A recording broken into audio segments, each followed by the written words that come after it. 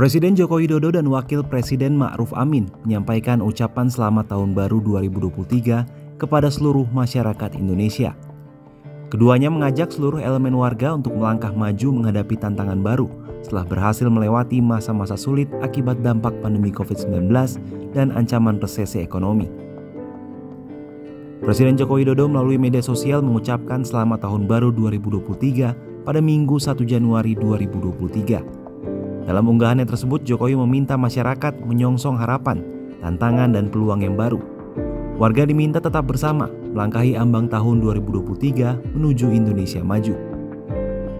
Presiden Jokowi menegaskan, Indonesia cukup berhasil melewati masa-masa sulit saat pandemi COVID-19 melanda serta adanya ancaman resesi ekonomi perekonomian Indonesia tumbuh positif sepanjang tahun. Pertemuan dan presidensi Indonesia di G20 juga berjalan baik, situasi politik dan keamanan dalam negeri pun cukup kondusif. Tak hanya itu, pembangunan infrastruktur dan sumber daya manusia berjalan dengan sesuai rencana. Kendati demikian, di sisi lain, beberapa kawasan di Indonesia pada 2022 sempat dientak bencana alam banjir, longsor, hingga gempa bumi. Melalui video ucapan selamat tahun baru 2023, Wapres Ma'ruf Amin juga menyampaikan pesan kepada seluruh masyarakat Indonesia untuk tetap mengobarkan semangat dalam upaya bersama membangun negeri.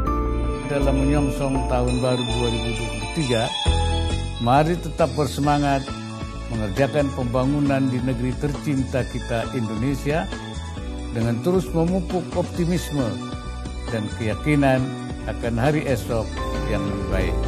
Wapres Amin mengajak masyarakat tetap bersemangat melanjutkan pembangunan di Indonesia. Wapres meyakini kerja keras semua elemen masyarakat akan berbuah kesejahteraan yang berkeadilan bagi seluruh rakyat.